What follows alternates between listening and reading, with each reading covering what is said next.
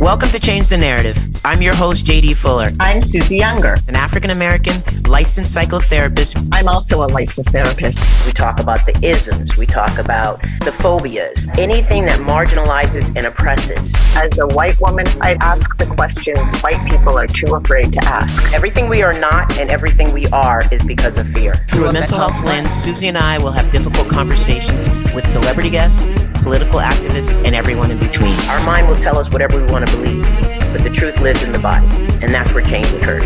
Are you ready to change the narrative? We are so excited about our guest today. Dr. Janja Lalich is a researcher, best-selling author, educator who specializes in cults and extremist groups. Professor Emerita of Sociology at California State University, Chico. She's been studying controversial groups and abusive relationships for over 30 years. We are so excited to get in this. Welcome. Thank you. Thank you. I'm so happy to be here. Yeah. Uh, so yeah, talk about excitement. I'm, I'm going to try to not mess up my my questions because there were so many. I had to narrow them down. So yes, I want to start off by saying you are so fascinating. I mean, you, you just you really are. And as you said, you were in a cult for 10 years. Please right. talk about the strategy used to groom and recruit cult members by the leaders. Well, you know, the leaders come up with the idea or the message or this, you know, supposedly secret path to some sort of salvation, whether it's religious or political or self improvement, whatever after that, once they get a few followers, the, the leaders actually don't do very much. They're kind of lazy, actually. They like to sit back and bask in the glory, right? So it's the it's the followers who go out and recruit and bring people in and uh, you know help set up the structure that keeps people in line. So, you know, recruitment is usually done um, person to person, although lately, obviously, we've seen a lot of cults uh, coming forth on the internet. Um, but still today, about 60, 66% of people are recruited by a friend, a family member, or a coworker. So, of course, it's harder to say no to someone you know when they first invite you to something or show you something or want you to come see the guru lift himself off his chair or whatever it might be, right? Yeah. yeah. so all they need to do is get you to that first thing, and then the other cult members who are there will focus on you and they'll do what we call love bombing. Which is they'll kind of surround you with praise and how wonderful you are, or how beautiful you are, whatever, you know, and make you feel really loved and like these are such wonderful people and and because they're so nice and kind to you you you you know this is one of the principles of influence. You then feel obligated to come back when they invite you to the next thing. And you think oh these are such nice people. So it kind of just goes on from there. Um, and once you get in you know the cults will have set up a structure of um, what i call these interlocking mechanisms of influence and control to continue manipulating you and and keep you in the group. They use a narcissist strategy. Yes absolutely. Absolutely. So how did you eventually get out of the cult? Well the cult i was in which was a political cult um, where we wanted to you know have a revolution and get rid of racism and sexism and classism and all these things that sounded like a wonderful thing to get rid of. Mm-hmm. um, what happened is after after about 10 years, um, we actually had our revolution in that we overthrew our leader. Um, it's wow. very, very, unusual ending yeah. for a cult group. Um, and so what happened is the, you know, those of us who'd been in for almost the whole time, we, we were really burned out. I mean, we'd been working 18 hour days, seven days a week, year after year. Mm-hmm. And the leader was an alcoholic and abusive and domineering. And so what happened is she was out of the country at one point, and so we called everybody together and told them what was really going on behind the scenes. And of course, at first they didn't believe us. They thought we were like trying to have a coup. And so it took almost a week till everybody was convinced that we were telling the truth. And then we took a vote and we voted unanimously to uh, expel the leader and dissolve the organization. So we all got out. That is amazing. Yeah. So there's definitely a mental health component that makes you more vulnerable than another person, and it makes you completely accessible to the recruiters of cults. How would you describe the characteristics of that? Well, I wouldn't call it a mental health component. I, I okay. would say that people get recruited at vulnerable points in their lives, and being vulnerable isn't a isn't a mental health illness. I mean, right. we're all we're all vulnerable millions of times in our lives, right? Absolutely. We're Absolutely. vulnerable if it's raining out, if our dog yes. died, if we moved mm-hmm. to a new town, if we just graduated from school, whatever, just got divorced, whatever, right? So being vulnerable means you're, you know, you're a little bit off center maybe, and you're looking for some solace or some comfort or a framework for understanding what's going on.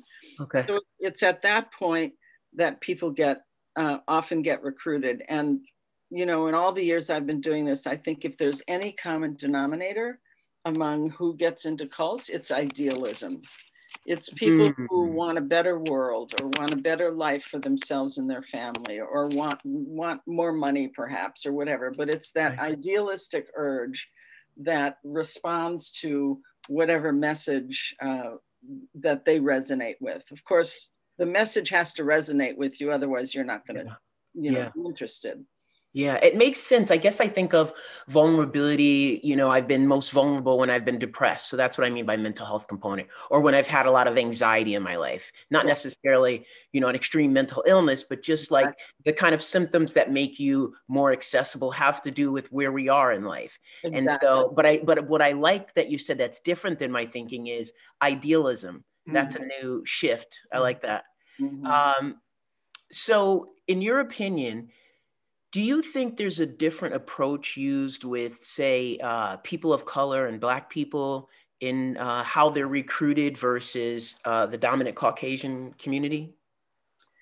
Is I there a cultural difference?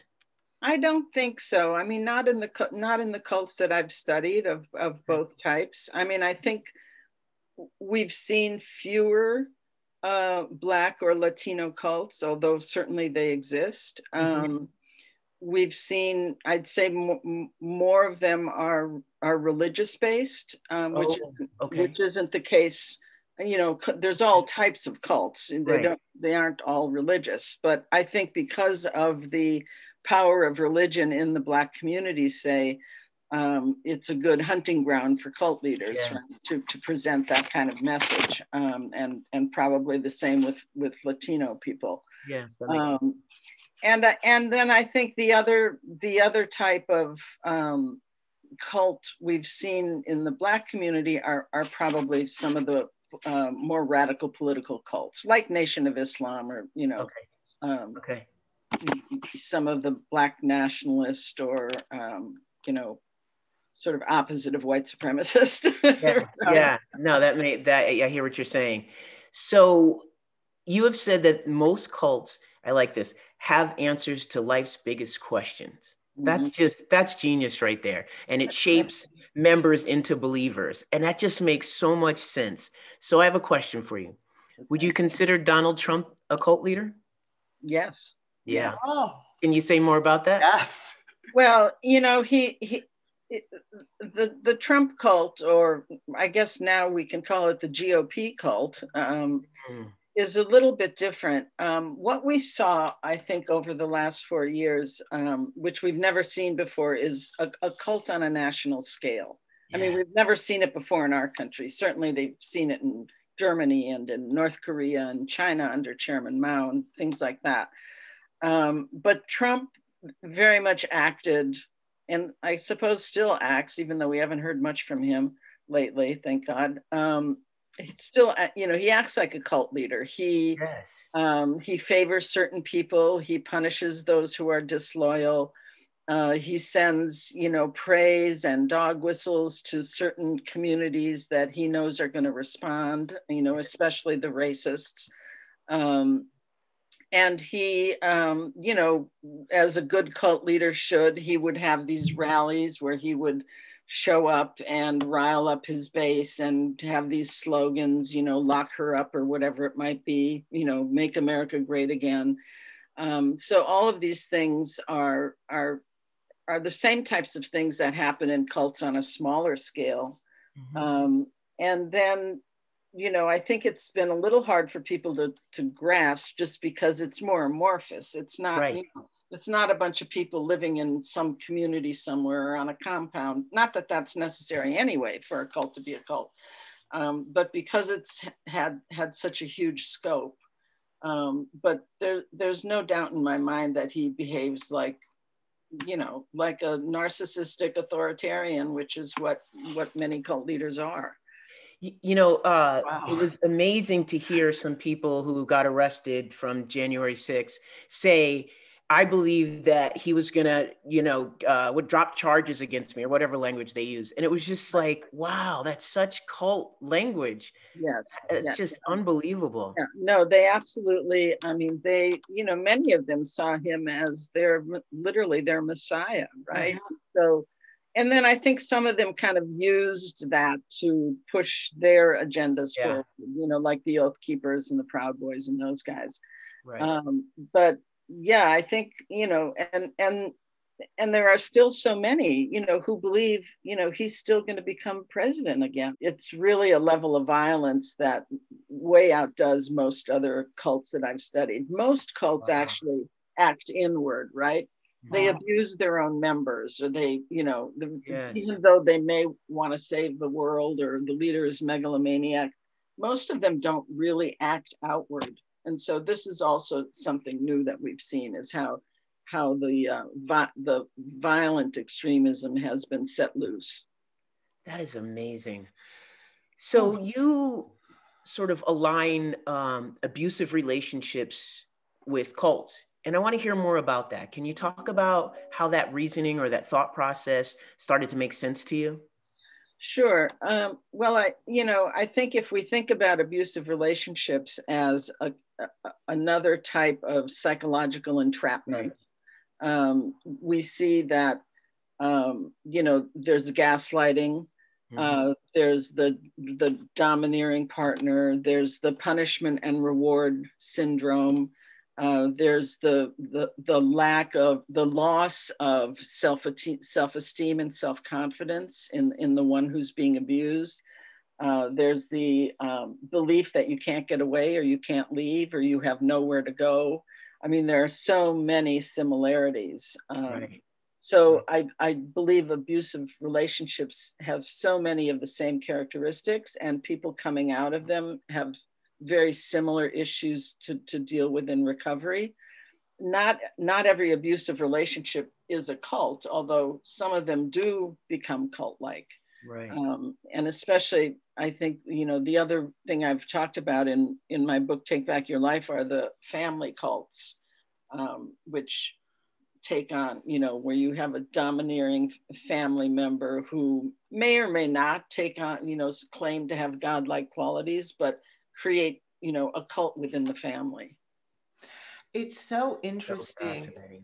so there's there's what is how do cult members or how do the cults keep their members so obedient? Well you know it has to do with um, the indoctrination program.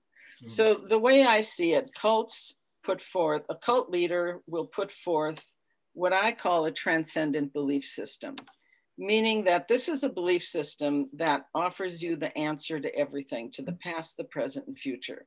So it gives you a new framework for evaluating the world and your role in the world, right? Mm-hmm. So what and part of that, the, the important part of that belief system is that you have to go through a personal transformation uh, in order to uh, be qualified to, to be on the path, to be accepted to be on the path. Once you accept that, uh, then the changes start. And so that, that path of personal transformation, that's the indoctrination system, right? So every group will have its own type of indoctrination system, which may include classes or exercises, training programs, whatever it might be, right? through the indoctrination program, the cult member is being re socialized into becoming the, the, the good, believing, loyal cult leader, cult member. I'm sorry, right? Mm-hmm. Um, and their only devotion is to the cult leader. After a time, um, and this doesn't always happen with everybody, and that's why you know different people in a group can have different experiences. Right. But after time, for at least some of the members, you're going to completely internalize that belief system and the demands of that belief system and the um, sort of blind loyalty to the leader. Okay. Once you've internalized everything, it doesn't really need, you don't really need someone on the outside telling you what to do. You're telling yourself what to do. And you're chastising yourself if you have doubts or hesitations, right? So you're kind of, you kind of become this little microcosm of the cult, right? And that's that's what I see as um, living in what I call a bounded reality. Mm-hmm. Once you're enveloped in that clo- closed social system, that self sealing system, it's closed in on itself. Once you're in that space, then you take on, uh, again, what I call bounded choice, meaning that yes, you'll have decisions to make. Uh, generally, they're not going to be about anything major, but you will have decisions to make and nobody's holding a gun to your head, right? But you know exactly the decision you need to make to stay in the good graces of the group. Because at that point, not being in the group is tantamount to death. Wow. You cannot imagine life outside the group. Wow. And you know, it's it's so interesting. I just watched The Vow and I know you were mm-hmm. a part of that. But the part of where the, the strategy to separate the members from their families. Yes. How does that evolve? I because as an outsider, I watch it, wonder, is it is it part of that system, the indoctrination? Yes, absolutely. I mean, the, you know, the, you'll be taught, you know, generally quite early on that uh, people who are not part of this new special elite group that you've found um, are, are going to hold you back. They're going to present barriers to your um, success on the path or whatever language ah. they might use, right? So no you shouldn't see that friend. And they they may not even have to tell you that but you you yourself understand. I know if i go see susie q she's going to question me about what i'm doing and she's going to try to detract me from the path. So no i'm going to refuse to have coffee with susie q. No i'm not going to go home for thanksgiving because i know they're just going to badger me about my dedication to this group. And of course every group does damage control so they're going to eh, have you you know, trained ahead of time about what to expect when you see people outside the group. Um, so that it, it becomes part of that um, new you that's being created, that, that anybody who's not part of what, of what you're part of, this now very special group, is is in a sense an enemy. I was just going to say they become the enemy. They become the enemy, absolutely. Yeah. What would you say the major difference between the older cults and the more modern day cults that we're mm-hmm. seeing today? So I'm not sure what you mean by older cults. You mean well, like Jim Jones versus um, The Vow, yeah, or Scientology. Yeah, Scientology. Yeah, I don't talk Scientology, but okay. Um, NXIVM. NXIVM. Okay. Well, I think that um, you know they're they're very much similar i mean it took you know i mean jim jones started as as a church um, and people you know again people brought in friends things like that um, it, the exposés were about to happen which is why they he took everybody to guyana um, NXIVM, you know, did pretty much the same thing. They, although you know, it was a different, um, a different demographic, a different population. He recruited, uh, you know, they recruited through their self improvement programs that cost okay. a lot of money. Uh, they focus, you know, they focused on celebrities and the entertainment right. industry, who um, typically are people who are, are worried about their image and even though they may look super hot when we see them there's a lot of self you know self-doubt in the entertainment industry and it's very mm-hmm. competitive. So signing on for thousand dollar classes to be better at what you do seems like a good thing. So they use these um, these classes as kind of the route into the cult. They were kind of they were the sort of the front group Mm-hmm. And then, you know, centers were set up around the country where people were more involved. But to be really, really part of it, you were you were told to move to Albany, and not everybody moved to Albany. Um, and then those who moved to Albany clearly got caught up in the, in the much more extreme stuff that Keith Raniere, in his sadism and psych- psychopathy, um, you know, did orchestrated such horrendous things uh, on people and especially on women.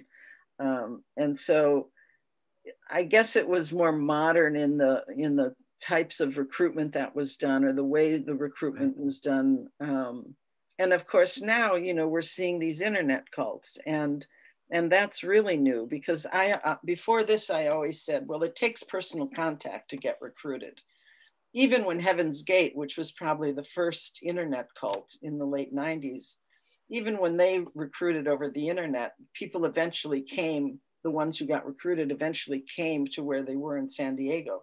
But now we have this phenomenon of QAnon and these conspiracies right. and all that, where there isn't necessarily the personal contact, but they create internet co- communities. And so it's through all the time they spend in their internet community that they're getting the same degree of peer pressure that exists in the physical cults. Which is so scary. And I would imagine during this pandemic, yes. it's actually exacerbated all of this. Yes, you're absolutely right. Wow. What would you say the worst cult you've ever you've ever seen? you know it, it's it's really impossible to say that you know i mean there there was a cult in canada where where people were made to chop off their arms. I mean there was you know there was keith raniere who i i do believe was one of the more horrendous uh, cult leaders and and vicious and abusive. Um, you know there was the cult in in um, colombia the german cult colonia dignidad that tortured the children it, it's almost impossible to say which is the worst one. And and you know what what's what's always shocking to me, uh, you know, as you said in the intro, I've been doing this for 30 some years. Every week and almost every day, I learn of a new cult. Wow. I have people oh. contacting me telling me about a group I had never heard of before. I know they're not making it up you know they, there's too much detail and there's too much they're exposing um, and i you know many of them i can then research online but it, it, it, it it's you know I, I don't want to be one of these hysterical people who says there's a cult under every tree mm-hmm. but good lord there's a lot of them and not just in our country around the world yeah yeah. That's unbelievable. Wow. What, what do you what do you think the most important thing is you want people to know about cults? Well, I you know, I guess if you're if you're a potential recruit, I think the most important thing is to slow down, to not be rushed into something, uh, to do your homework and be a good consumer. Um, you know, I, I, people jump into these things, you know, w- without a thought. It's right. important to trust your gut. You know, pretend you're buying a car. When you buy a car, you don't buy the first car you see. You drive several around. You ask your friends who own that type of car. You look at consumer reports. You, you know, right? So do your research. Don't be pushed into something quickly. If you're, if it's a um, one, one of these management or leadership training programs, which are super popular right now in the business world, in the corporate world, if you're being asked to sign a waiver that says you won't hold them responsible if something happens to you, run out the door don't sign the waiver if yeah. they're asking you to sign a waiver that probably means something's going to happen to you right right so so right. you know really really tap into your common sense and slow down and do your research you know, it sounds like one of those pyramid scheme set yeah. up. Yeah. yeah. Yeah. There's a lot of that. Um, you know, and it's true right now uh, because of the pandemic. Um, you know, cults recruit very successfully when societies are in turmoil. Mm-hmm. And so clearly in the last four years, we've been in turmoil. Uh, hopefully things will calm down now. Mm-hmm. Um, but also the pandemic really put people, you know, on edge and like, you know, what the hell's going on, right? So that's when people look for some framework to help understand the world, right? To give them some sense of comfort. And so that's why people can easily then be recruited into cults. Um, historically, we saw when when the Berlin Wall came down and the Soviet Union broke up, tons of you know, I shouldn't say tons, it's vague, but lots of lots of cults ran to the to Eastern Europe to recruit because right here were people hundreds thousands of people millions who just had their world ripped out from under them right their right. whole worldview so they're, they're going to be looking for something new to believe in right, right. so the, the pandemic is kind of like that for us and has been and um, and and then the amount of time people could spend on the internet you know yeah. sort of falling down these rabbit holes that makes so much sense um, there's so much more to ask you and to talk about but i'm just going to have one final question which is what do you think we need in order to change the narrative well, um, I think what I mean, we need so much. I know. it's a loaded question. I know. There's so much work to be done in our country, but I think we need some kind of national education program. And I know that makes me sound like an awful socialist. God forbid. Some, yeah, God forbid but I do, I do believe we need to um, get the American public and especially young people back to critical thinking. Mm-hmm. I think we've lost our way in that, and um, and so I, you know, I can say, you know, as someone who was a professor, I would see this on the application. I was on the uh, scholarship committee, and I would see on the applications from high school the students were being pushed and pushed and pushed to do service work, do service work. Mm-hmm. Well, service work is fine. And I think service work is important. But uh-huh. what about your grades? What about your critical thinking? What about your intellectual growth? And so I think we've kind of lost our way a little bit. And on top of that, we have, you know, this talk radio and some of these news stations that have really led to what I call the dumbing down of America. So I think we need some type of, of national education program that will bring common sense and critical thinking back to people. Um, th- there's a woman who contacted me who wrote a who's writing a series of books for children and teenagers on um, you know how to how to distinguish a healthy group from an unhealthy group Oh, great. And yeah, uh, her name is Gretchen Day. Uh, her books are on Amazon, and her the first book she did for young kids, her children actually drew the graphics for the book. And and you know, I don't know that these books are perfect, but I, I, I was so inspired by her, and I hope other people will be inspired by her to like take on this challenge. Um, and then, of course, we need to combat hate in whatever way we can. I mean, the um, the rampant racism and prejudice in our country is you know i don't need to tell you uh, yeah. it, it, you know it's beyond i think what we've ever seen short of the slave days mm-hmm. and we need to be super diligent in in in every way possible to to combat racism and to take down those groups um, that were emboldened by trump because those were always fringe groups, right? They were right. like, who who who who wanted to be part of that? But now, because they've they've they've risen up and they had, you know, they had the blessing, so to speak, of of a political leader, of a very top leader, right? So so they don't seem so fringe anymore. They seem like a mass movement. Right. And so that looks groovy and oh, let's hook up with them no, we need to stop that. So, whatever ways that we can dismantle those groups and put the leaders in jail or whatever so that they become fringe again mm. and, and are not able to be as active as they've been. Um, you know, I never thought I'd see our country get to this place. And, um, you know, I try to be hopeful now that Biden is in and hope that there will be some positive changes and people will kind of settle down. But mm-hmm. there's a lot of work to do. Yeah. I agree. Janja, I, all I can say is please agree to come back. Yes. Because I'd love to come back. I mean, there is so much more to dig into here. And your mind is an amazing place to be. I'm just like feel myself on the edge of the seat. I know. You're really amazing. Really. Thank you. Thank and you. Thank you so, so much found me and invited me. Oh my gosh. Oh, I'm so glad you, you responded. so glad you responded. Take care and I'll be in touch, okay? All right. Thanks. All right. Thank you. Have a good Bye. day.